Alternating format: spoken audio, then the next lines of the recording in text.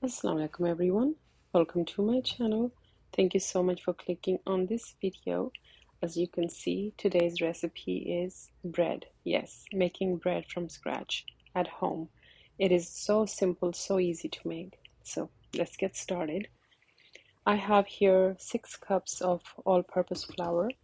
You can also use bread flour, but all-purpose flour just works fine. I have two teaspoons of salt, 1 tablespoon of yeast, 1 fourth of a cup of honey, and half a stick of butter, 2 cups of warm water. Now I'm going to use uh, my stand mixer to do this, um, to knead this dough, but you can definitely do it in any bowl if you don't have one. Add your water to the bowl. I'm using dry active yeast, so there's no need to let it uh, poof, wait, and you know do all that. Um, so just add your honey after that. Next, add your salt and your butter. Then we're going to add just about half of the flour in there, about three cups, and then um, add the rest gradually.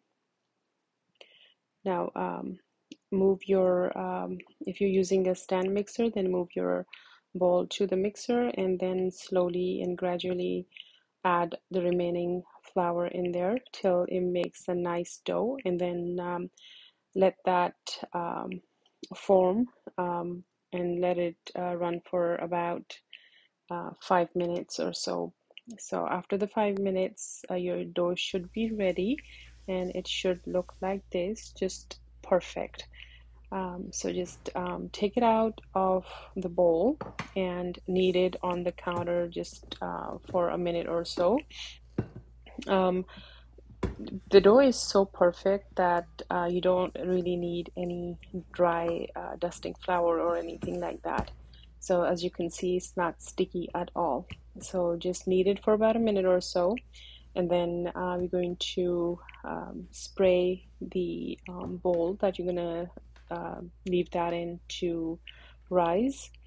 So um, spray the pan or the bowl and uh, just put your uh, dough in there, mix it around so it, it's uh, coated evenly. Cover it and leave it in a nice warm place to rise.